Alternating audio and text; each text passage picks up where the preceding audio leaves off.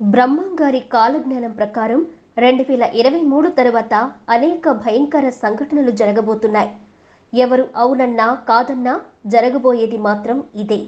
శ్రీ మధ్విరాట్ వీరబ్రహ్మేంద్ర స్వామివారు ఈ కలియుగంలో జరగబోవు సంఘటనలను తన మనోనేత్రంతో ముందుగానే దర్శించి వాటిని కాలజ్ఞానం రూపంలో మనకు అందించారు. బ్రహ్మం గారు చెప్పినవి ఇప్పటి వరకు చాలా జరిగాయి. రాబోయే కాలంలో మరిన్ని ఖచ్చితంగా జరగబోతున్నాయి.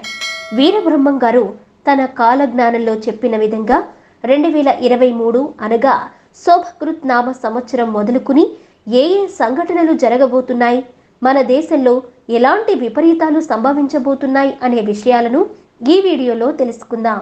గడిచిపోయిన రోజులు అన్నీ మంచివే అని మన పెద్దలు ఊరికే అనలేదు. ఎందుకంటే ఈ సమాజంలో మంచి అనేది నానాటికి అంతరించిపోతుంది. డబ్బు అధికారం చుట్టూనే ఈ లోకం మొత్తం తిరుగుతుంది. ఇదంతా బ్రహ్మం గారు ముందుగానే తన కాలజ్ఞానంలో చెప్పారు.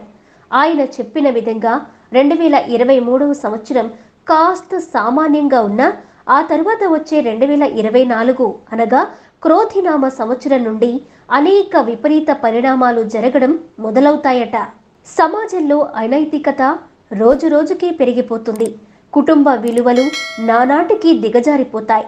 స్త్రీ పురుషులు వివాహ కట్టుబాట్లను మరచి ఇతరుల వ్యామోహంలో పడి వివాహేతర సంబంధాల వైపు మొగ్గు చూపుతారు.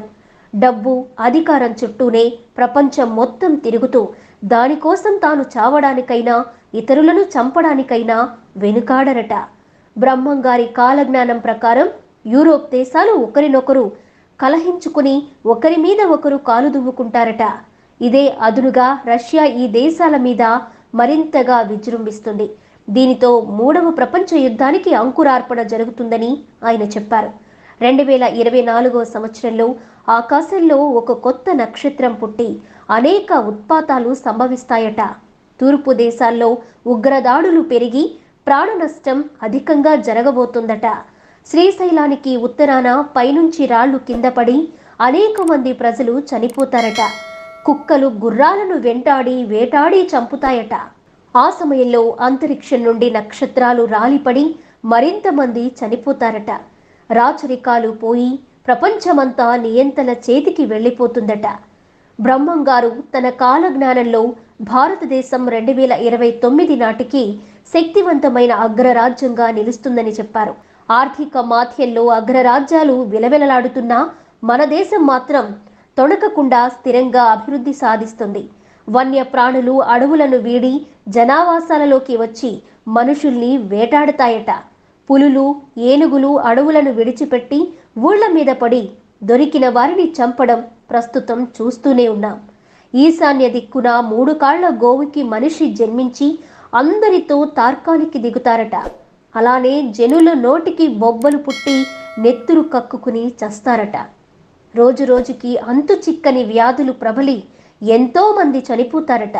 ఇప్పటికే ఒక మహమ్మారి బారి నుంచి కొంచెం కొంచెంగా బయటపడుతున్న మనం రాబోయే కాలంలో మందులేని జబ్బులు మరికొన్ని విజృంభించబోతున్నాయని బ్రహ్మం గారు తన కాలజ్ఞానంలో వివరించారు. అలానే రెండు వేల ఇరవై ఐదు ఇరవై ఆరు మధ్య కాలంలో భారతదేశంలో ఒక మహాపురుషుడు అవతరించి ప్రపంచానికి మార్గనిర్దేశం చేస్తాడట. ఇటలీలో అంతర్యుద్ధం జరిగి వాటికన్ సిటీ అంతమవుతుందట. ముందు ముందు ముత్యమంత బంగారం కూడా దొరకకుండా పోతుందట. అలాంపూర్ జోగులాంబ స్థనాల వెంట పాలు కారుతాయట. సునామీ లాంటి ప్రకృతి విపత్తులు సంభవించి ఊహించని ప్రాణ నష్టం జరుగుతుందట. రెండు వేల అరవై ఐదు నాటికి ప్రపంచ జనాభా ఒకటి బై మూడు వంతుకు పడిపోతుందని ఆయన చెప్పారు. శ్రీకాళహస్తిలో దొంగతనం జరుగుతుందట.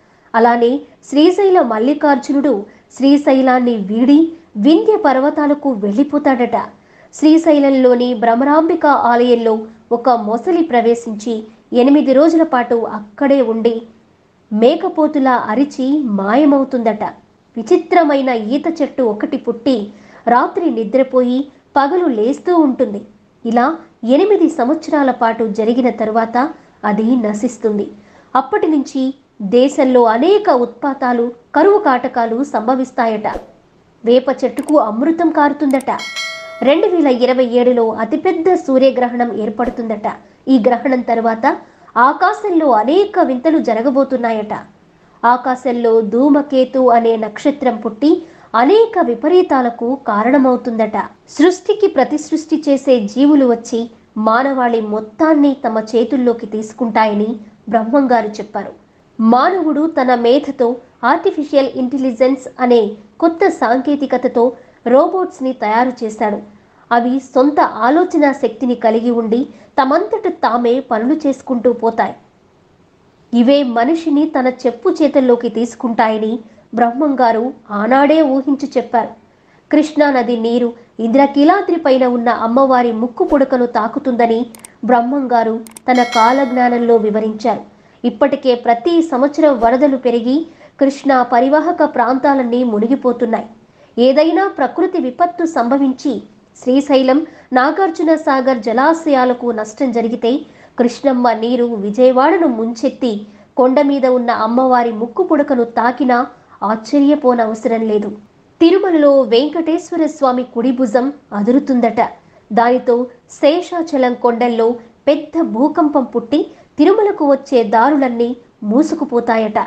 ఇది కలియుగాంతానికి సూచన అని బ్రహ్మంగారు తన కాలజ్ఞానంలో చెప్పారు. ఉప్పుకొండూరులో ఊరి చెరువు కింద ఉత్పాతాలు పుడతాయట. ఈ సంఘటనలు జరిగిన తర్వాత మీనరాశికి సూర్యుడు వచ్చే సమయంలో తాను వీరభోగ వసంతరాయలుగా ఉద్భవిస్తానని నాలుగు మూరల ఖడ్గము పట్టి శ్రీశైల పర్వతం మీదకు వచ్చి అక్కడి ధనమంతా పుణ్యాత్ములైన వారికి పంచి ఇస్తాను అని బ్రహ్మంగారు తన కాలజ్ఞాన బోధలో వివరించారు.